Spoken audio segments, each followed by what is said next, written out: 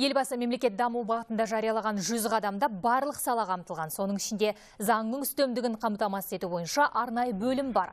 Сот жүйесін реформалау тұрғысындағы міндеттер сот билігінің халық алдындағы жауапкершілігін арттыра түседі дейді мамандар.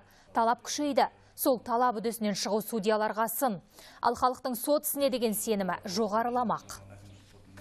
сот процестерінің барлығы бейне дыбыс таспаға жазылып сот процестері осы таспа жүзінде хаттамалар жүзеге асырылып жатыр. Сонымен қатар ә, сот кабинеті деген ә, жаңа технологияда заманауи технологияда осы халыққа жасалып жатқан жағдай деп ойлауға болады. Себебі халық өзі сот ғимаратына келмей ақ сот кабинеті арқылы арыз шағымдарын жолдай отыр. Осындай өзінің құқықтарын жүзеге асыруға мүмкіндіктері туындап отыр. Елбасының қойған тапсырмаларының барлығы халыққа жасалып жатқан жағдай деп ойлауға болады. Халықтың сотқа деген сенімділігі соттың халық алдындағы жариялығы ашықтығы қолжетімділігінің қолжетімділігіне алда жетелейді деп ойлаймыз.